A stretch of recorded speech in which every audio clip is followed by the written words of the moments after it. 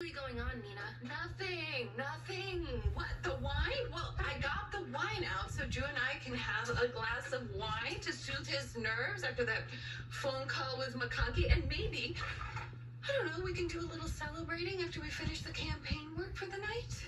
Okay, this is definitely not your best idea or your subtlest. Maxie, it's not what you think. Oh. Okay, well, it's not entirely what you think. Believe it or not. I'm doing this for Willow. You're in charge.